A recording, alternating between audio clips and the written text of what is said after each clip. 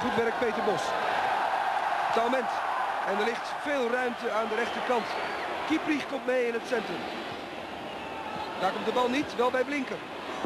En die wil dan de kans gunnen aan Goré, maar deed dat wat onbeholpen. Buitenspel.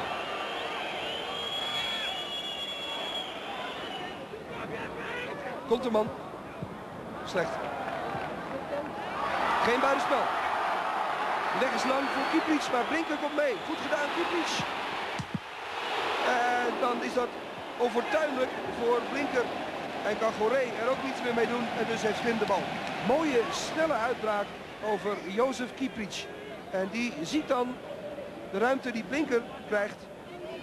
De afronding is goed van Blinker. En de pech is daar. De Gier. Dat is een goede bal van Sinkgraven. Keizer. Achterbal. Schuurmans denkt aan een corner. En hij is de baas. Revels raakt de bal niet goed. Gier. Ja! Daar is weinig verkeerd aan. Aan die knal van Jack de Gier. De hoekschop van Cambuur wordt afgeslagen, maar niet goed door Revels.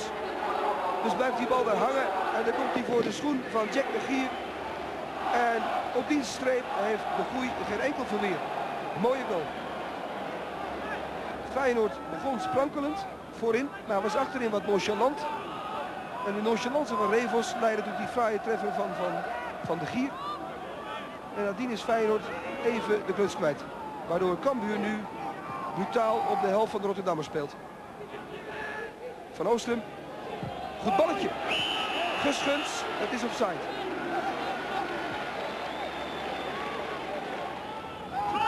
Twintig minuten gespeeld. Dit is Heus. Goeie bal. Kieprits. Wie daar? Blinker. Weg.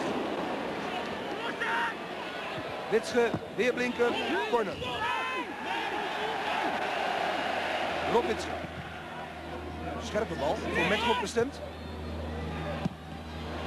Blinker. En nu raakt hij de bal niet goed. Zo is het steeds Blinker die de kansjes krijgt bij Feyenoord.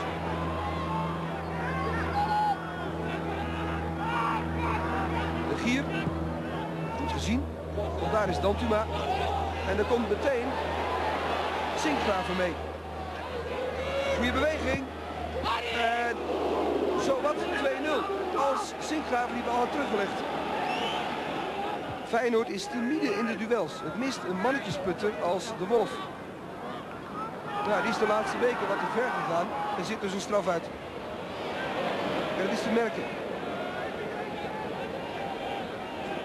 Feyenoord gaat als schaapjes over het veld. Daar waar Cambuur, als het moet, het mes wel wil trekken.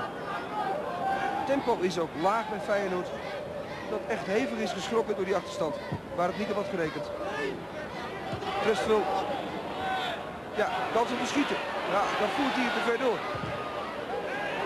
Hij krijgt de bal terug en dan is het een corner. Maar de schietkans werd genegeerd door Trustful.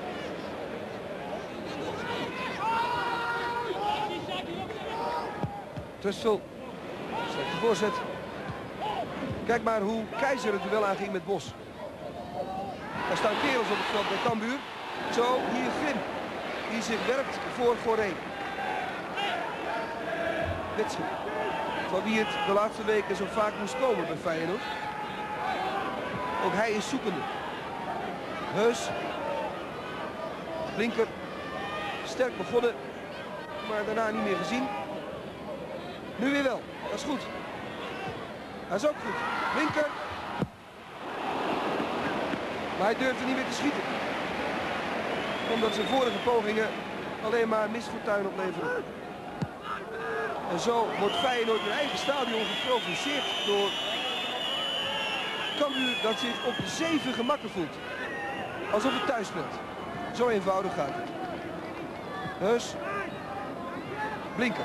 De enige waar wat van uitstraalt bij Feyenoord. Als het op die helft daar komt de voetballen bij al die Vriezen. Schuurmans zag een overtreding. Van Altman. Op de bal! Eén kans nog voor de T in de blessuretijd van de eerste helft. Uh, het schot is aardig van Heus, maar de redding van Grim was ook goed. Al heeft Schuurmans niet gezien dat Grim er de vingers tegen kreeg. Dus blijft de corner achterwege. Met God. Richting Kieprits. Maar Konterman is sterker in de lucht. En dan blaast Schuurmans voor het einde van de eerste helft. Feyenoord wordt uitgefloten door de eigen aanhang. Maar een applausje voor de Friese zou ook nog op zijn plaats zijn. Want die hebben het goed gedaan in de eerste 45 minuten.